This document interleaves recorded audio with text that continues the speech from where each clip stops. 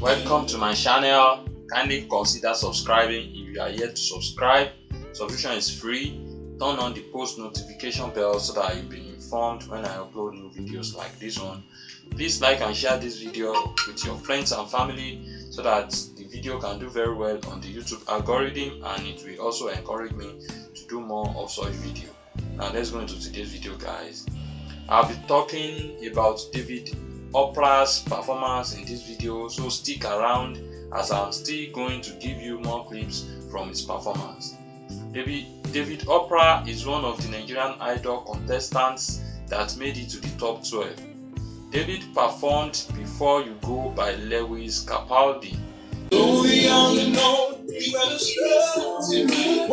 song. Before you go, be better by now. This is the song that David Operah performed on the first live performance to seek for viewers' votes.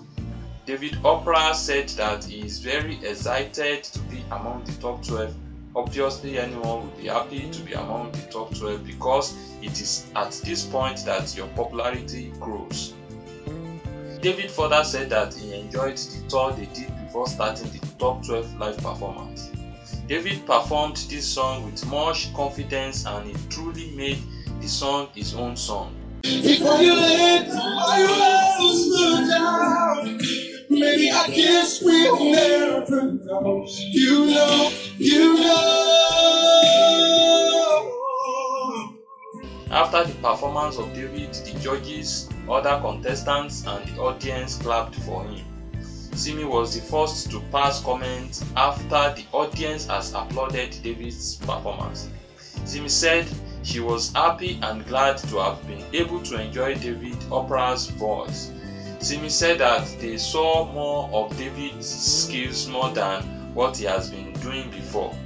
The Coco Master greeted David specially, and when it got to the turn of Obi Asika, he said that he loved the performance of David Operah and Obi Asika further said that David has really improved in his performance.